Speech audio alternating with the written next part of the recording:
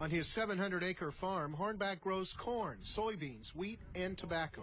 You're a farmer. Will you grow hemp? I intend to, and like any other farmer, we'll look at the economics of it. Uh, we'll decide if it's a good cash crop, if it'll make some money, and if we will, we'll grow it. Hornback believes concerns about distinguishing marijuana from hemp are unfounded. The DEA in Canada, uh, in talking with them, they've been growing it since 1998. They've never had a problem. I'm here in my hemp shirt today. Legalizing hemp has bipartisan support. U.S. Senator Rand Paul of Kentucky appeared with Congressman John Yarmuth at the state legislative hearing earlier this year to speak in favor of hemp. Bill Francis, WDRB News. Senator Rand Paul introduced a bill that would legalize hemp. Congressman John Yarmuth believes the best chance to legalize it is to have it as an amendment to the five-year farm bill that's now being drafted.